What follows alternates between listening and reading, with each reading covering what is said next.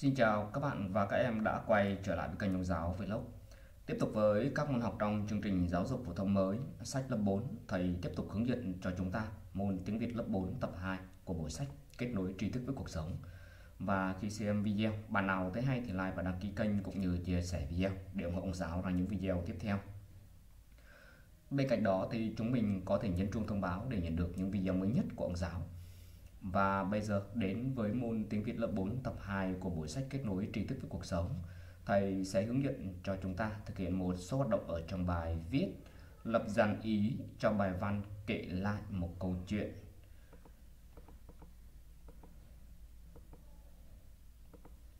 Chúng ta sẽ đến với đề bài, đó là viết bài văn kể lại câu chuyện về một nhân vật lịch sử mà em đã đọc hoặc đã nghe. Như vậy thì ở đây đề bài yêu cầu chúng ta đó là à đúng rồi, viết bài văn kể lại một câu chuyện về một nhân vật lịch sử mà em đã được đọc hoặc là đã gì, đã được nghe, đúng không? Như vậy thì chúng mình cần phải chuẩn bị đó là một câu chuyện về một nhân vật lịch sử mà chúng ta yêu thích. Và câu chuyện có mở đầu, diễn biến và kết thúc như thế nào? Và nhân vật lịch sử có những đóng góp gì cho đất nước? Thì chúng ta cũng đã được nghe có thể đã được học rất là nhiều câu chuyện về các cái nhân vật lịch sử. Thì chúng mình sẽ cần phải chọn câu chuyện đúng không? Câu chuyện đó là câu chuyện gì? Về một nhân lịch ừ, về một nhân vật lịch sử mà chúng ta yêu thích đó là ai? Và câu chuyện đó mở đầu rồi diễn biến và kết thúc như thế nào? Và nhân vật lịch sử có đóng góp gì cho đất nước? Cuối cùng sẽ là chúng mình sẽ nêu lên cảm nghĩ như thế nào về nhân vật và câu chuyện chúng ta đã được nghe, được đọc đó. Đầu tiên, chúng ta sẽ chọn câu chuyện về một nhân vật lịch sử mà em yêu thích thì rất là nhiều có thể các câu chuyện chúng mình đã được học hay đã được nghe. Ví dụ như là Trần Quốc Toàn Phạm Ngũ Lão Yết Kiêu Lê Lai Nguyễn Trung Trực Hồ Chí Minh Kim Đồng Nguyễn Văn Trội. À, rất là nhiều câu chuyện nói về các cái anh hùng lịch sử. Và chúng ta sẽ chọn một câu chuyện. Ví dụ trong các câu chuyện này thì chúng ta à, trong các câu chuyện mà chúng ta đã được nghe đã được học thì chúng mình có thể chọn một câu chuyện ví dụ như là gì? À, anh Kim Đông và câu chuyện có mở đầu diễn biến và kết thúc như thế nào? Thì ở đây à, ví dụ như câu chuyện chúng ta muốn chọn đó là câu chuyện anh Kim Đông thì mở đầu đó là một lần sau khi làm nhiệm vụ dẫn cán bộ vào căn cứ. Kim Đồng đang trên đường trở về nhà thì nghe có tiếng động lạ ở trong rừng. Và chúng ta có thể nó ờ, tiếp đến đó là nội dung. Tức là Kim Đồng liền rủ Cao Sơn tìm cách báo động cho các anh cán bộ đang ở trong xóm biết. Sau khi quan sát, Kim Đồng đã nhìn thấy bọn lính đang lợi dụng sương mù phục kích trên đường vào xóm và im lặng đợi bắt người. Kim Đồng bảo Cao Sơn lùi về phía sau chạy về báo cáo Đợi cho bạn đi rồi. Kim Đồng ngắm, ngắm kỹ địa hình để chạy vọt qua suối lên phía rừng. Như vậy bọn lính sẽ phải nổ súng hoặc kêu lên Chúng nó sẽ bị lộ. Quả nhiên thấy có bóng người chạy bọn giặc lên đạn và hô đứng lại! Kim Đồng không dừng chân giặc bắn theo. Và tiếp theo đó là kết thúc. Anh Kim Đồng đã anh dũng hy sinh đó là câu chuyện, có phần mở đầu, diễn biến ở đây thì chúng ta thấy là nội dung và kết thúc. Nhân vật lịch sử có trong, có những đóng góp gì cho đất nước thì qua câu chuyện anh Kim Đông, chúng mình thấy Kim Đông là một người như thế nào? À đúng rồi, là một tấm gương vì cách mạng quên mình hy sinh khi làm nhiệm vụ bảo vệ cán bộ cách mạng, đúng không? Đó là những đóng góp cho đất nước. Vậy thì à, câu chuyện vừa rồi Sau khi nghe câu chuyện vừa rồi thì chúng mình thấy Chúng mình có cảm nghĩ như thế nào về nhân vật Cụ thể là anh Kim Đồng À chính xác Chúng mình có thể cảm thấy rất ngưỡng mộ anh Kim Đồng anh chính là tấm gương sáng trói mở đầu cho nhiều gương cao quý trong đội ngũ đội viên thiếu niên tiền phong Hồ Chí Minh. Đó là chúng mình có thể nêu lên một số cảm nghĩ, suy nghĩ của mình về tấm gương anh Kim Đồng.